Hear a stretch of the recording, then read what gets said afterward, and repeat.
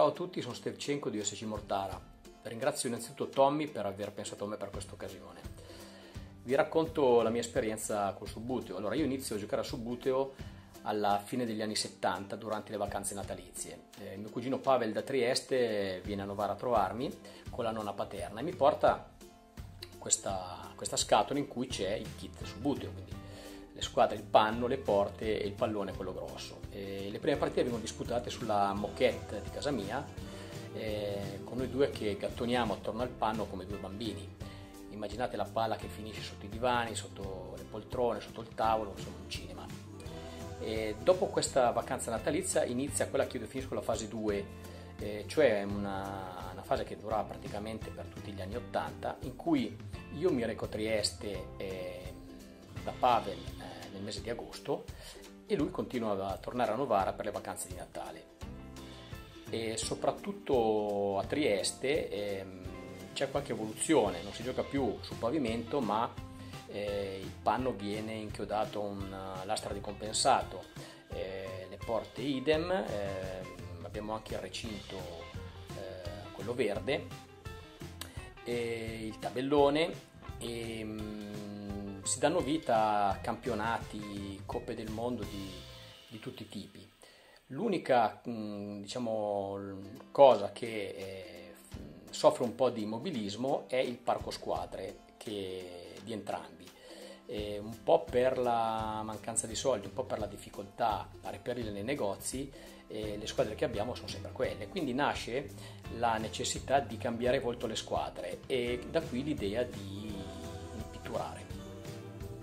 Quindi qualche squadra viene letteralmente violentata e cambia aspetto e quando si ha la possibilità eh, di comprarne qualcuna ehm, le si compra già con l'idea di poterle trasformare, quindi magari si compra un Real Madrid totalmente bianco oppure una maglia che si può avvicinare a quella eh, che la squadra acquistata diventerà. Io mi ricordo che la prima squadra eh, a essere trasformata delle mie fu un Bologna HV che divenne un dandy. Purtroppo eh, verso la fine degli anni Ottanta questo, questo sogno si interrompe e l'interruzione durerà quasi 25 anni. Eh, io non tocco più Subbuteo, non tocco più gli omini, tutto finisce in cantina per essere poi rispolverato nel 2014 quando entro a far parte dell'Old Subbuteo Club eh, Mortara. A Mortara trovo un ambiente bellissimo, eh, comandato dal presidentissimo Mauro Starone e proprio Mauro, eh, come me, è un appassionato, un forte appassionato di subbuteo e di pittura. E quindi eh, col, diciamo, assieme riscopriamo il piacere di pitturare, ma pitturare forte, eh, perché comunque durante l'anno vengono eh, indetti un paio di tornei eh, scopo benefico in cui io, Mauro e adesso anche altri eh, giovinastri, come vengono chiamati i subbuteisti del, del Cap di Mortara, ehm, dipingono squadre eh, che veng- verranno utilizzate per questi tornei e che poi verranno vendute o ai partecipanti o a esterni in modo da raccogliere fondi per eh, Casalessia che è praticamente la, la, onlus eh, che, di Novara che noi sosteniamo e che è diventata praticamente la beniamina del club di Mortara. Ecco infine il mio parco squadre.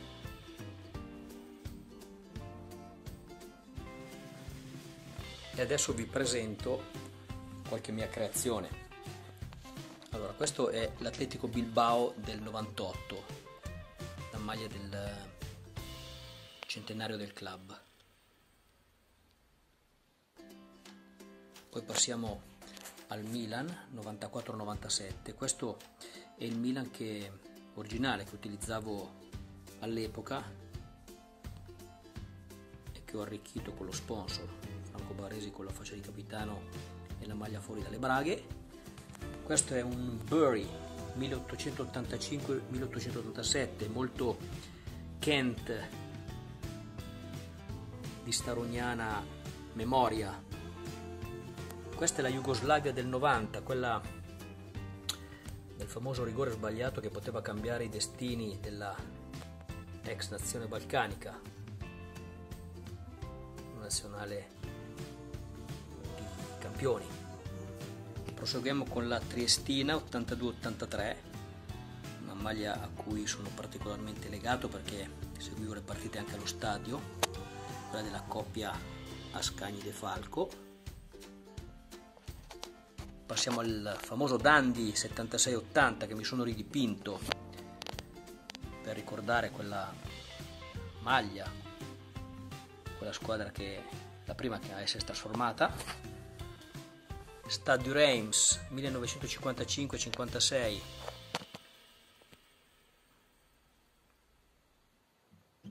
e infine la nazionale del Vanuatu, una delle mie migliori realizzazioni secondo me, un bel effetto cromatico.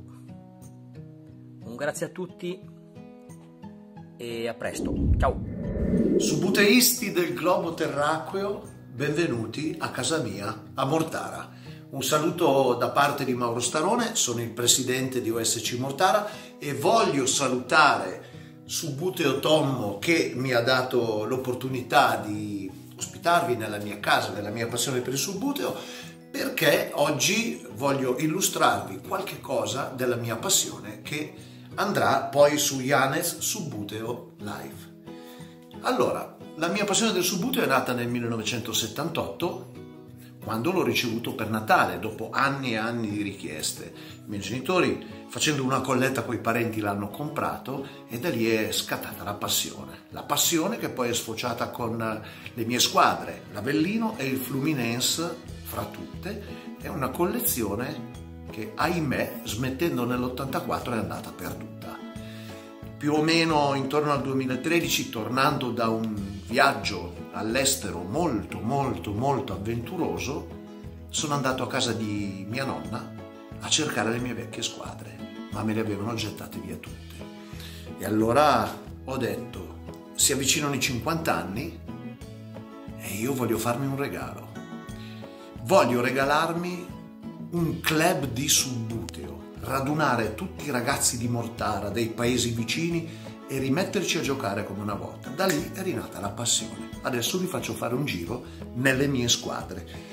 Partiamo dalle italiane. Io ho una collezione mh, mm, fatta di 3-4 nazioni. Colleziono le squadre italiane, argentine, brasiliane, le due grandi dell'Uruguay e poi le portoghesi. Allora, le italiane, uno dice è il Pescara, no signori, è il Mortara. Mi sono dipinto il Mortara, questa è la prima maglia perché dipingendo puoi creare tutto quello che vuoi. Io dipingo in stile Kenting, stile semplice, uso gli Ambrol e mi faccio le mie squadre. Poi qui ho un Avellino replica, la Ref 253, sempre dipinta da me. L'Avellino di Barbadiglio e Scov dell'82-83 con il quale sto facendo il campionato OSC Mortara di Serie A, il nostro campionato interno. Perché è bello dipingere le squadre? Ma perché puoi fantasticare, guarda ancora cosa succede con le squadre italiane. Un lecco. A me piace molto l'abbinamento blu-celeste. Ho addirittura il legnano con il color lavanda, che poi è un lilla molto chiaro. Facciamo un giro all'estero, andiamo in Uruguay dove abbiamo il Penarol e il Nacional di Montevideo, le due grandi nemiche. Pensate che queste due squadre, soltanto loro hanno vinto qualcosa come un 60 titoli. Andiamo a fare un giro in Brasile. In Brasile, eccolo qua, il mio grande amore straniero, il Fluminense, che me la sono creata io in triplice riga con il verde, il cremisi e il bianco. Ancora in Brasile il Fortaleza e questa è stata una carinissima scatola che mi hanno regalato per il mio compleanno e poi l'Argentina. Delle Argentine le ho quasi tutte, però voglio farvi vedere una squadra che per me è particolare. Questa è la Platense o il Platense. Perché è particolare? Perché è una delle rarissime maglie color marrone in giro per il mondo. Guardate che meraviglia! anche i miei ragazzi, i miei giovinastri al club, quando hanno visto questo colore, si sono scatenati e hanno capito che ci sono altre squadre così. Il Miondalen, il St. Pauli e forse ce n'è un'altra, non mi ricordo dove, ma comunque qualcosa di marrone c'è sempre. Il Portogallo, un altro mio grande amore.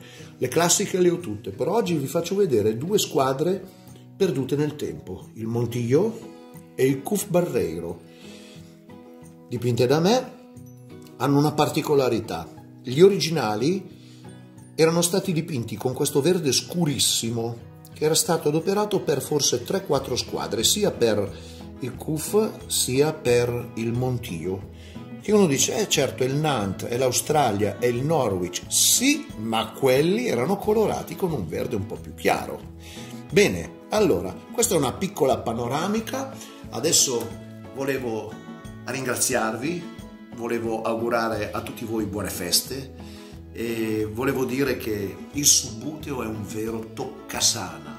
Quelle due orette giocate con gli amici, giocate al club, ci allontanano dalle bollette. Torni a casa anche un po' più rilassato, che si vince, che si perde, chi se ne frega. L'importante è tenere alto il nostro gioco. Allora da Mauro Starone è tutto e io ve lo leggo con l'annuncio. Grazie Subbuteo Tommo, grazie Yanez, Subbuteos Life, buon Subbuteo e buona vita a tutti dal vostro sempre vostro Mauro Starone.